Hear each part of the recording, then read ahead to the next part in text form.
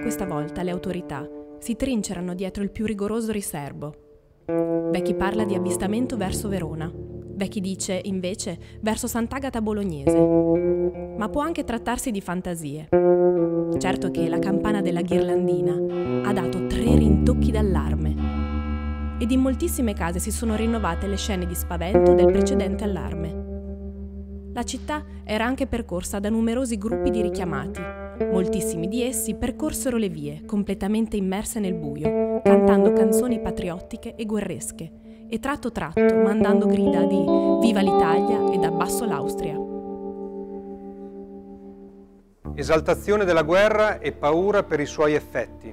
In questo articolo della Gazzetta dell'Emilia sono racchiusi due sentimenti opposti, entrambi presenti a Modena.